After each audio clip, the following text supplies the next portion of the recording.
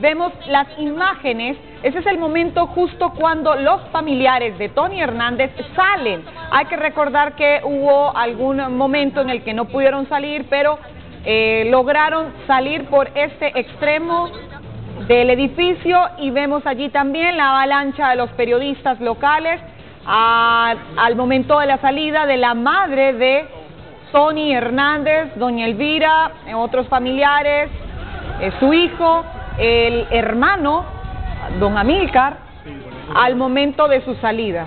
Y este es el momento en que sale también la familia, el video donde sale doña Elvira, eh, seguidos por muchos hondureños. Entendemos la crispación política, entendemos la crispación política en el momento, pero bueno, el, el fallo ya se dio. Escuchemos lo que pasa ahí.